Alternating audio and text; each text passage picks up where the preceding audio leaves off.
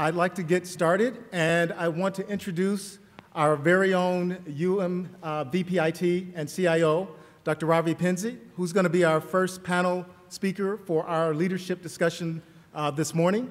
Um, so I'm going to ask Dr. Pendse to come up and uh, just introduce him um, and, and reiterate his, that he has a focus on, a laser focus on um, customer service, and his goal is to get the University of Michigan be a leader in the appropriate use of technology in the higher education domain. Dr. Pendse. Thank you, thank you. Thank you. So, so how, how has morning been so far? It's doing great? How was the poster session? Uh, excellent. Well, the, the back there, the, that person is really enthusiastic back there. He's going like this. Thank you. I like, the, I, I like that spirit. Thank you. He's saying, oh, I'm just the volunteer. That's what he's saying. he, he's showing his shirt, that it says. But it's a, it's a privilege to be with all of you. Uh, thank you so much uh, for giving me this time. Uh, I'm really, really grateful for the opportunity to serve as uh, the VP and CIO of this amazing institution and really represent all of you. I'm, I'm you know, humbled by the opportunity and uh, what this institution is and the uh, incredible individuals I got a chance to meet here so far. I'm in my fourth month and I'm still here, so which is good. Uh, and so intend to be here for a long time with support and help from all of you. but what I wanted to do was really, I stand before you in utmost humility, and I want to share with you uh, something that my mother taught me a long time ago. And the reason I want to share that with you is because as I've been here for four months, I have learned a lot from many of you in this room and beyond. I've seen every one of you as a teacher, where uh, many things that I didn't know you taught me.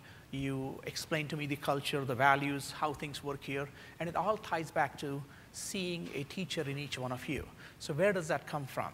that really comes from my mother. When I was seven years old, she taught me these three Sanskrit phrases.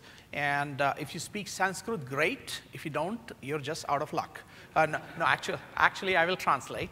Uh, it goes something like this Matru Deva Bhava. Mother is made in the image of God and should be respected as one would respect God. Pitru Deva Bhava. Father is made in the image of God and should be respected as one would respect God.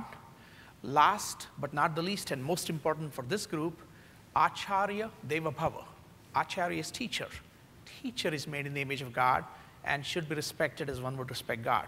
And that's why I see a teacher in everyone I get a chance to interact with because I learn. So what I'm wanting to challenge you to think about is, as we look at Michigan IT Symposium, as we look at all of these opportunities to learn, I hope you'll take time and you'll see a teacher in each other that way, we can learn from each other, we can collaborate, we can innovate, and if we do that, we will be seen as a leader in the appropriate use of technology and beyond in the entire world. Because that's the power. That's the power of collaboration. That's the power of learning. That's the power of teaching each other. So I hope you do that. And as I've spent time in IT, uh, you know, there's a lot about me you might have read, but there's something about me that you may not know. Uh, change. Change is something we're very comfortable with in IT, right? Because that's something we live with, right? Every day you see change. Do you all agree that our field continues to change and evolve? And you obviously are far smarter than I am because uh, I was not uh, really prepared for change.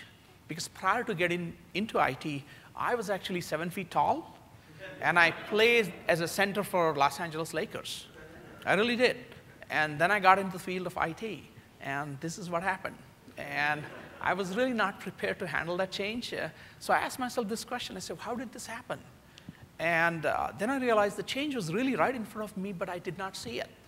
Uh, the acronym CIO does not stand for Chief Information Officer. It stands for career is over, okay? my, my basketball career was over. Thankfully, my IT career sustained, and you know why it sustained? Because I had a lot of great teachers, great teachers like all of you. That's why my IT career sustained. So jokes aside, people have asked me, you know, what have you learned while you've been here for the time uh, to, uh, here? And so one of the things I did learn this morning, which was kind of a little exciting, uh, is that my car has anti-lock brakes, which was good, okay? Uh, which was good. As I slid to work, uh, no, no, nothing serious, but it was kind of exciting, actually. Uh, for somebody who hasn't driven a lot on snow, it can be quite exciting. And so it was fun. And but more importantly, uh, as we evolve, as I talk to folks, one of the questions I ask my colleagues and beyond and others, and I ask that question of you, how would you answer this question if I asked you, where is our data? Where is our data? How would we answer that question? So when I asked that question of my colleagues in ITS and beyond, they all smiled, they looked at each other, and they said, it's kind of everywhere and anywhere. That's what they said. And so the reason I asked that question is uh, not because we want to control data, but we actually want to enable and empower the use of that data. Enable and empower the use of that data so that we can all, we can all at the institution make data-informed decisions, not data-driven. Think about the difference between the two. Data-informed decision-making, not data-driven decision-making. And I'm happy to engage with you about that later on if you like.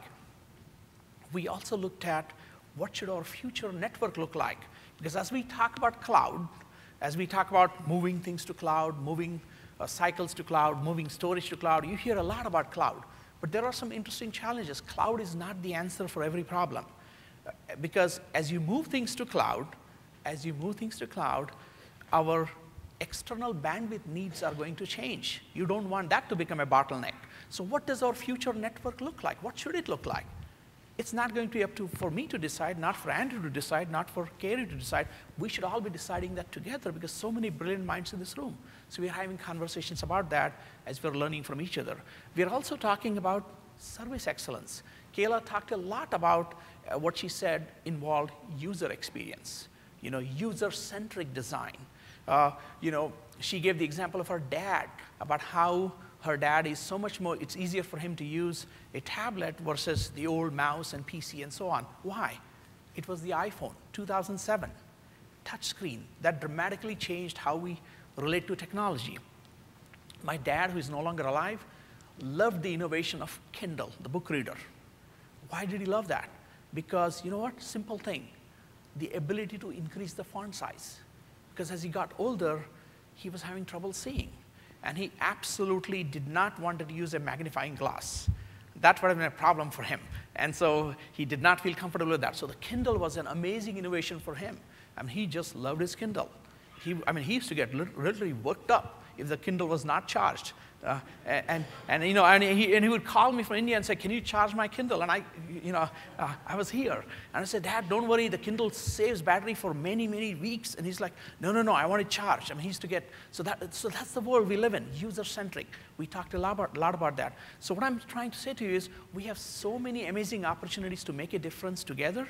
So what I want to do is end my conversation with you uh, with a, and we have a great panel coming up here, with a Sanskrit phrase that goes something like this. By the time you're done, you're going to be Sanskrit experts, I'm telling you. Uh, it goes something like this Anaho Badraha, Anaho Badraha, Kratavo Yantu Vishwataha. Anaho Badraha, Kratavo Yantu Vishwataha. It's a mouthful, so I'll translate. What it really means is let innovative thoughts, let in innovative thoughts come from all around the world, or let innovative thoughts come from all around this room, or let innovative thoughts come from our outstanding panel that's going to come up to the stage now. So I'm going to invite our panel members to come here, and no pressure, they're going to be our engines of innovation.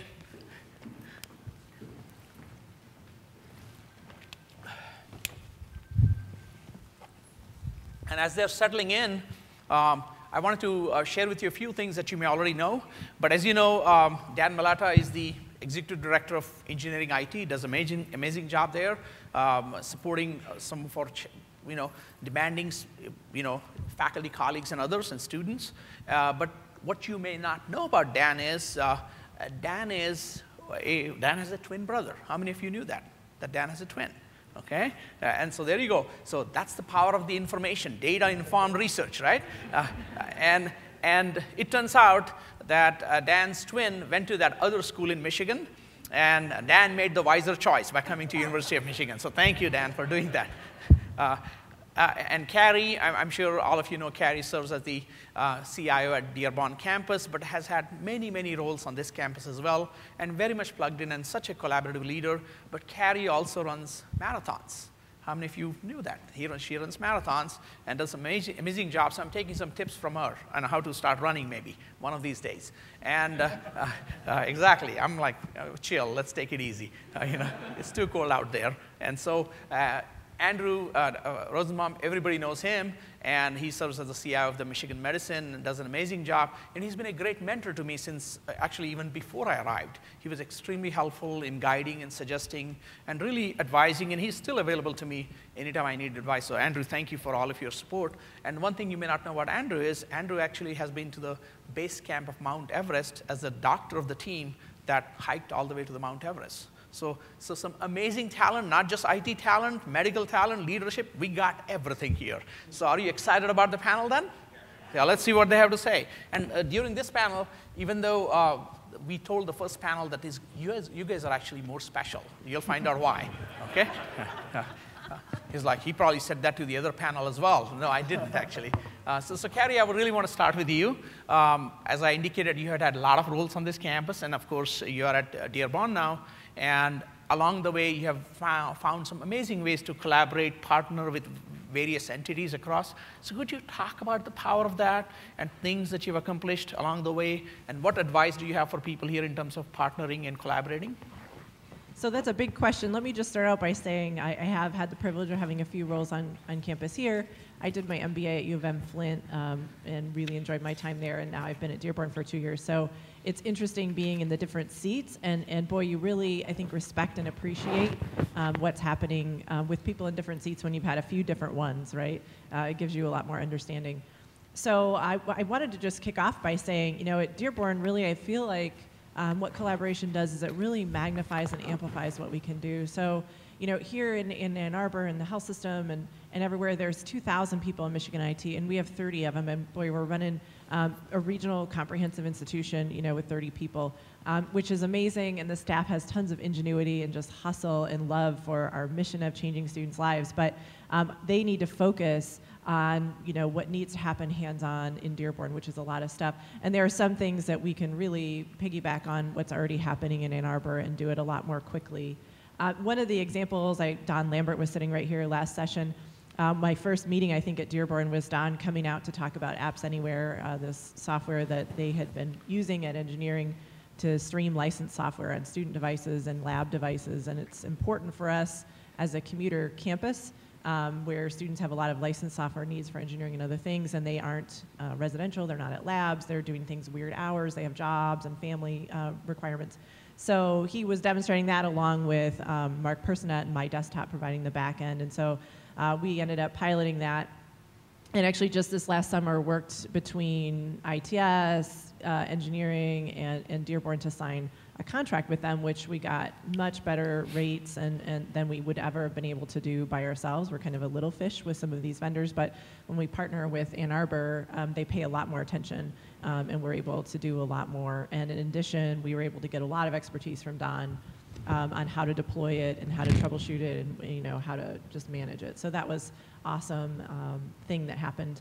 One other thing, I, I, don't want you guys to miss uh, Robert Ward and Shajib uh, Ghosh and Patrick Steffes are doing a student identity management session, and that's an example of us working with um, the identity management folks in Ann Arbor to take what was previously actually a postal mail process of students getting their unique name and password just this past year was converted into an online digital process where students choose their own unique names and their own passwords, um, which has led to um, just students having a much better experience. So some of those envelopes were getting lost. Obviously, we're not making it to uh, China or Yemen or Oman or other places where the envelopes need to make their way to. And when I was sitting in the service desk during Fall Rush this year, the staff were teasing me about whether they were going to give me access to reset passwords, which is a major chore that typically happens during that time.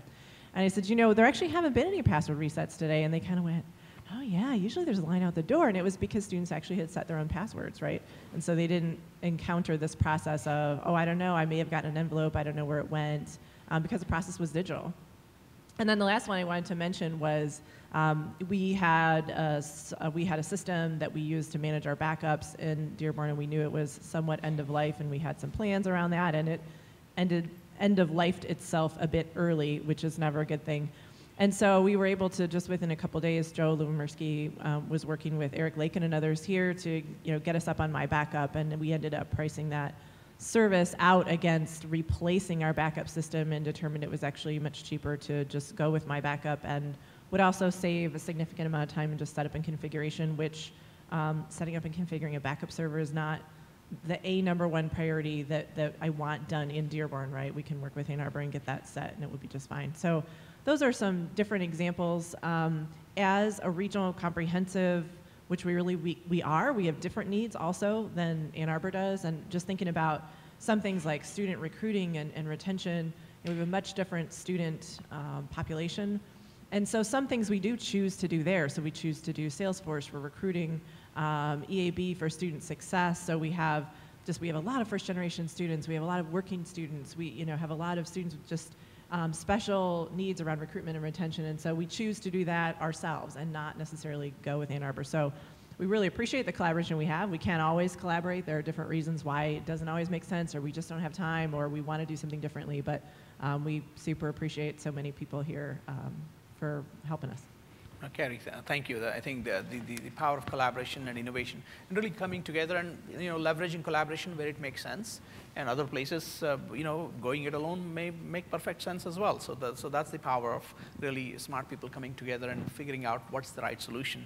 Um, so, so Andrew, uh, you know, kind of continuing that discussion, uh, and, and, I don't know if Jack is in the audience this, uh, during this session or not, but let's assume that we all got together and we solved the cybersecurity problem we have we no longer Brilliant. have any uh, we, we, we have taken care of it. We have the magic wand. And we are not worried about cybersecurity anymore.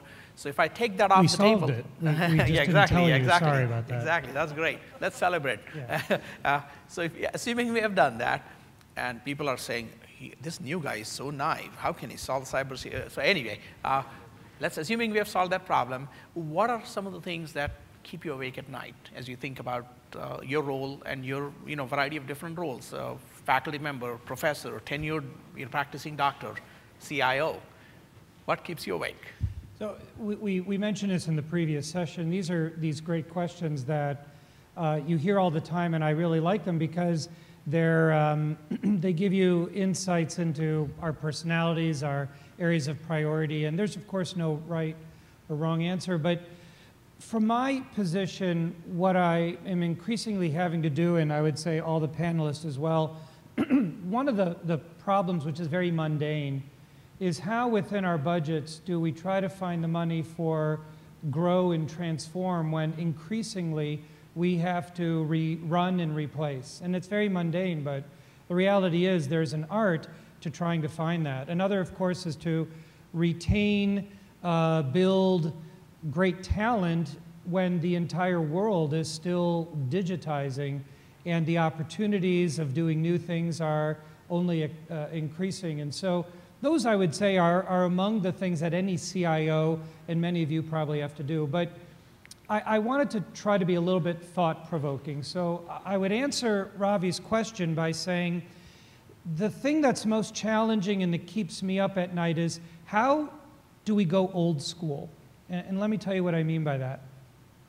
Uh, a few weeks ago, we had a near disaster in one of our primary data centers where we had to go full throttle stop on our absolutely most critical system, our Epic MyChart system. And the recovery was done extraordinarily well, and we're actually going to be talking more and more about lessons learned because in it, these kinds of lessons are, are powerful. But what if we didn't recover? Then what? And right now, I can tell you that there are really very, very few people left in the health system who actually know how to sustain manual work. We've become so digital. Even simple tasks that used to be just absolutely day to day, like writing an order with pen and paper what paper, who gets it, how do you deliver it, what do the pharmacies do absolutely fundamental tasks are actually now becoming atrophied. And so the problem is not the ones that you might normally think about there, how do we, as digital um, natives, one of Gartner's great words, how do we, as IT experts, but knowing our various areas of the business, actually help maintain the skills necessary to do that work? So imagine if the student grading system shut down for two weeks the day before finals or two days before finals. Are we going to ask students and our staff and faculty to stay two weeks into a holiday to, uh, to redo that work when our digital systems are up? Uh, how about uh, the beginning of fall semesters when uh, absolutely critical registration systems are not just down, they're down for days or weeks. What does this mean if and when our systems go down for a prolonged period of time, and how do we maintain continuity of operations? Very few people, I would actually be uh, not so provocative, challenging. I think there's no one really working on that. And if you have areas where you're doing it really well, I'd love to hear about it because we still struggle with how do we practice it. So, my answer to that question of what keeps me up at night is not cryptocurrency mining. Please don't do cryptocurrency mining. Just don't. don't. It's not all the cyber issues that you said. Those are the real ones, and those are ones that get Mark Schlissel and Martin Philbert and our leaders very interested. No question. They're not PHI and data breaches. Those are the things we talk about. In some ways, it might be the more mundane and hidden that we don't talk about, but when and if, it, if that data center did not come up, if we had not done enormous investments in continuity, we would be down for days or weeks in our most mission critical areas. And that's the thing that I don't think we're talking about enough. No, I, I think that's a, a interesting point, and um, this is not to be critical of anybody, and this was this had nothing to do with, uh, you know, per se any IT organization. Uh, but uh, Stephanie is like, oh, he's going there. Uh, but my, my, my first um, uh, four weeks were kind of exciting uh, because every week my health insurance was getting canceled uh, we have no idea why. And, and so I would go to the CVS pharmacy to pick up something and say, oh, you don't have health insurance. And finally it became a joke where the CVS pharmacist started asking me uh, to the effect, are you sure they're not trying to send you a message? that's what they said. So they're still working on figuring it out. Last I checked, I have health insurance now, so I'm all good. But, but point was, it was a process where they were trying to manually fix something, and the computerized process overnight was overriding whatever they had manually fixed. And all this was happening because I happened to have a dry faculty appointment and the system was getting somehow confused. But there are 50 other people who have, or 1,000 other people, but uh, hopefully they have figured this all out now. But point being, the computerization and the manual process not quite talking to each other can be quite challenging. And you know, we've talked about this, but from a panel point of view, one of the things we talked about when we were talking about what we want to speak about is we very, very strongly and sincerely talk about collaboration and the desire to share stories. These are these examples where when we learn about one system and how we're doing these automated overrides that you know happen in other areas. And so it might not sound immediately that's an, that's an opportunity for collaboration, but these problems are some of those areas for us and how we look for collaboration across the overall U of M. No, no, absolutely. Uh, so, so Dan, uh, continuing that conversation, uh, uh a friend of mine who happens to be the CIO for Cisco Systems uh, always jokingly says that uh, that's kind of the hardest job because uh, every employee of the Cisco system believes that they are an IT expert and, and have ideas on how IT should be run, and there is the CIO trying to, you know, uh, deal with 50,000 IT experts. And so, Dan, you happen to be in College of Engineering, my home, home college, and I know we have phenomenal faculty members who uh, work with technology, are at the edge of the technology, have designed systems that we use, uh, innovations that we use. So how do you balance the need to support their innovative spirit and pushing that edge with scale at which you have to offer services? So can you give us some guidance, wisdom on how you deal with that? Yeah, we, we do it in a couple ways. Um, you know, one way obviously is, is trying to be there to support those faculty who are innovating in new technology areas. Um, a lot of times they're great at that individual technology and really want to do things there, it's the operations of it and how it fits in with the bigger system and how the other pieces actually fit in is where, where we can spend some time. Uh, I think recognizing that we, we can't build a system that solves everything. Uh, and a great example that I have is, is uh, uh classroom. So we do a lot of classroom technology. Um, you know, more and more we get faculty that really want to be innovative in that space. And so it started with simple things like clickers, and then it became, well, I want uh, iPads, and I want to be able to write on my iPad and have it recorded, and I want to now be able to walk around the room with my iPad and have that recorded. How do we integrate an Apple TV in a room so people can do that? And, and then you have somebody else that says, well, I just want my chalkboard. I don't want any of this. I just want to be able to write on my chalkboard. If you're going to make me lecture capture, I will, but all you'll see is the back of my head as I'm writing on the whiteboard or on the chalkboard with my piece of chalk. And we had to support that whole gamut of users. And so some, we had to figure out where's that sweet spot between the, the really far out there user who's really pushing the envelope and the user that really likes it, how they've done it for the last 10, 20, 30 years. And so trying to find that middle ground is important. I think we can do a lot of things that are self-service, and that are flexible. So trying to provide services that um, a, a faculty member or student can use, you know, at midnight if they decide, hey, it's time for me to start using this, they can get online and do it all themselves. They don't need help. Um, and again, the classroom example, it's, it's lecture capture. Um, some people really want to get involved and make really polished lecture recordings. Other people just want to capture their course. And so if an instructor can just type three things into a Google spreadsheet or Google form, hit submit, and know that it all just happens for them, that's the perfect level of you know, effort for them. And the other ones who want to do more can get into the system and tinker and, and cut out bits, and they didn't like the way that sounded, so they cut that out and they re-edited a new uh, speech in. But how do we make those systems flexible? I, I think communication is a big piece. Uh, two-way communication, having them understand what services we have to offer, going out and listening to what their needs are. Um, and I think in this technology age, you know, I have all these experts in IT, everyone can do it right for themselves. Uh, we're seeing that more across the board, right? Everybody has a smartphone. And if we don't have a solution for them or they don't know where to find our solution, they get out their smartphone and they go to the Apple store and they type in, you know, spreadsheet tools or databases and they pull up an app and hey, this got four, you know, 4.5 stars by 3 million people. This must be great. I'll download that and use that as my database from now on. Not understanding what's happening behind the scenes. Um, so how do we actually curate that list then for them, give them some options of tools they could use? One size fits all won't work, but as everybody becomes a technology expert, how do we actually work in an environment where we're getting two-way communication, uh, where we do tools that we have to do? Um, I think there's really explaining the why. Why do you have to use this tool? Why do you have to do this this way? Why can't you just go do it however you want to? Um, if we can't get that why out early enough, um, we've lost them. If it's the point that they think it's being pushed on them versus they're, they're doing it for a reason, uh, they're more likely to resist doing it. Um, and then I think the other, the other example I wanted to share uh, it ties into some of the things about understanding the problems we're having and how to fix them is we have a lot of engineering students that are also very crafty. Uh, we had uh, probably, yeah, they're mining Bitcoin, they are actually.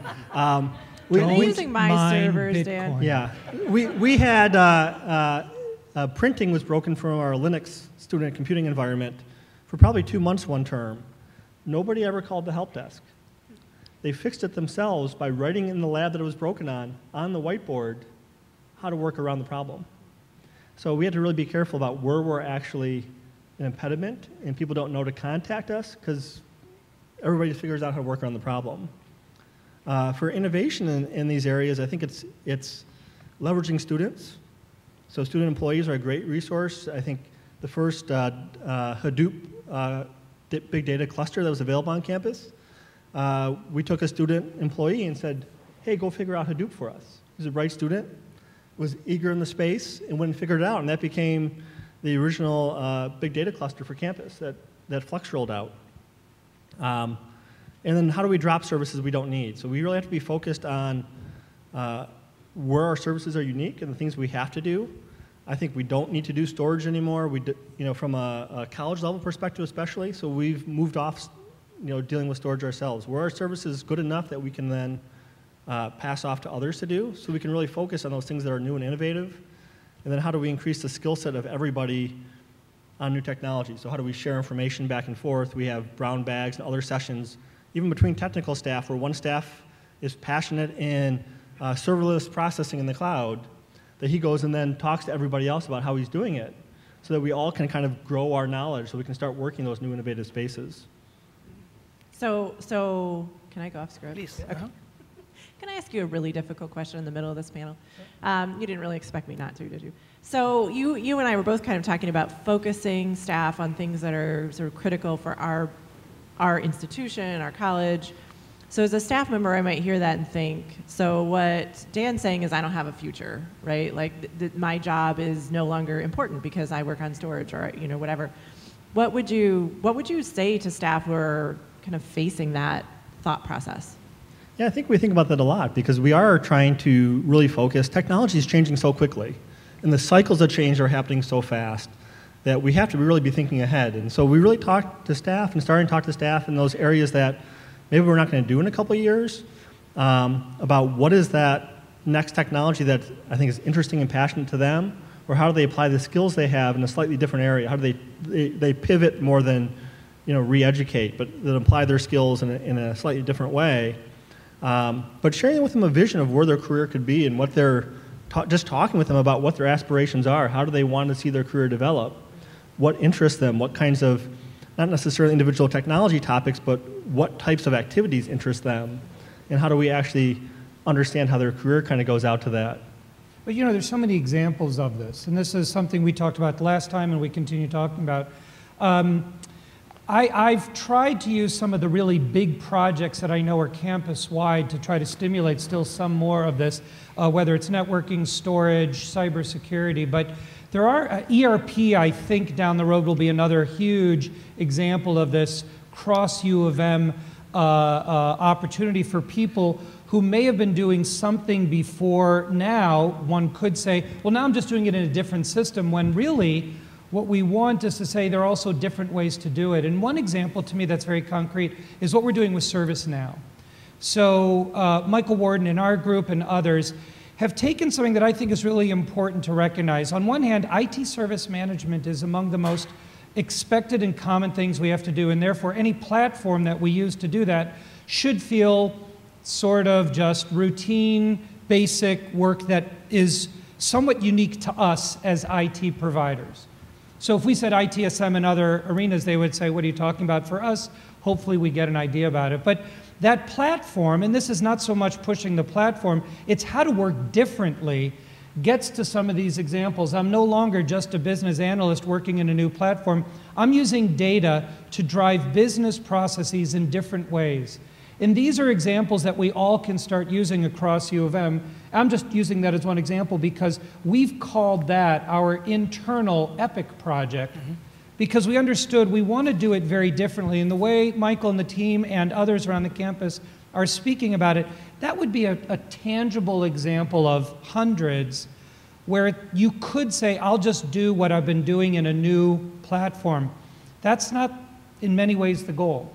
It's how to do services in a new way. The platform can help, and the platform can stimulate discussion that crosses divisions uh, in many ways. And where we find those examples to me are, to me, very concrete ways of, of pushing what you just said. No, I think um, a, lot of uh, you know great inter- interesting points here, and um, I have always talked to you know groups such as these and others when we have had conversations about the idea that uh, the field we chose to be in, which is you know information technology, uh, continues to evolve at a rapid pace. We talked about at the beginning, my, beginning of my remarks about one thing that's constant in our life is change. I also want you to think about it that change is a six-letter word, but so is leader. Okay, so think about that. And so we have an opportunity to lead. Uh, so there is no job security in our field, but what we have is career security if you're planning to evolve and other businesses are evolving. So we need to be prepared to do that. And I know you all do a great job. But think about this. Uh, how often do you go to a bank these days? How often do you go to a bank? Think about it. Uh, only five years ago, you pretty much had to go to bank for any business that you needed to transact. But you don't go to banks as much. You can do everything with that smartphone in your pocket. Depositing, withdrawing, moving money, doing whatever you need to do. You can do all of that. So the banking business has evolved. That doesn't mean they've gotten rid of people. What has happened is the types of expertise that the people had to have had to evolve so they can provide higher level of service. Maybe you're not going there to deposit and withdraw money, but maybe you're going there for other types of conversations. How often do you actually go to a counter at an airport and check in? That has evolved too. We don't do that anymore. We print boarding passes, we move on, we do things. How often do you actually check in in a hotel? These days, with your smartphones, they are able to give you the keys right on your smartphone. You can go open the door with your smartphone. Hilton Hotels has been doing this in many, many properties, and so have been others. So look at it this way. So does that mean those folks at the front desk of the Hilton are without a job? No, they're actually there. What they're doing, however, is after you check in, a few hours later they call you and say, how has been the service? Can we help you with something else? And you kind of